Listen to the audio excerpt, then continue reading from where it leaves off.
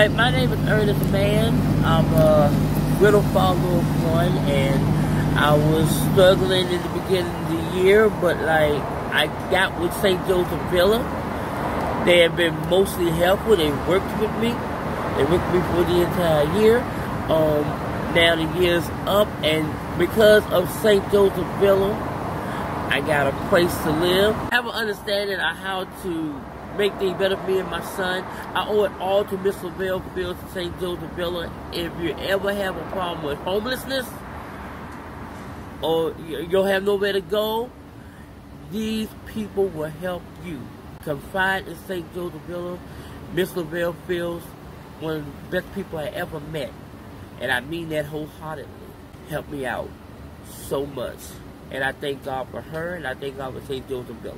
There's nothing more I can say. There's nothing more I can say. but please believe me.